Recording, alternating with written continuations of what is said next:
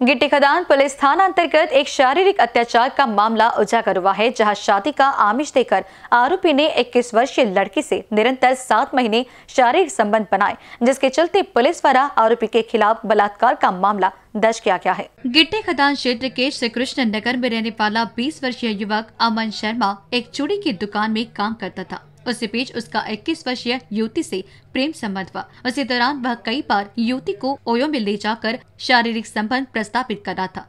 यह सिलसिला युवती के काम छोड़ने के बाद भी जारी रहा। यह मामला पूरे सात महीने निरंतर चलता रहा।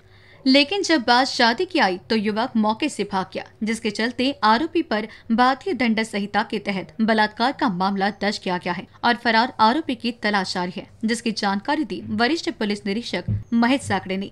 पोलीस ठाणे गिट्टीकदांच्या हद्दीमध्ये राहणारा अमन वर्मा नामक युवकाविरुद्ध तीनशे शहात्तर दोन यांप्रमाणे गुन्हा दाखल झालेला आहे. या युवकाची साधारण सात आठ महिन्यापूर्वी एका मुलीबरोबर ओळख झाली होती. ते दोघे एकाच ठिकाणी काम करत होते. त्यानंतर मग यांच्यामध्ये एकमेकांची मैत्री झाली आणि याने प्रेमा लग्नाचा आमिष दाखवून तिच्याबरोबर शरीरसंबंध केल्याबाबत तक्रार प्राप्त झाली.